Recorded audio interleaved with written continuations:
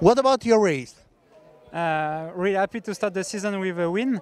Uh, yeah, uh, I had a good preparation with uh, winter, and uh, I didn't know how was uh, was my shape, and finally I take some good, yeah, some good, um, yeah, advantage at the last lap, and yeah, I managed to to win. Uh, yeah, it's uh, it's first race uh, with the first win. It's uh, it's uh, yeah, uh, it's good for the mind.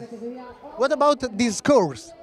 It's a yeah, it's a beautiful course um, with uh, technical and uh, physical parts. Uh, it was uh, dusty, so yeah, a nice uh, a nice race to yeah to to to race.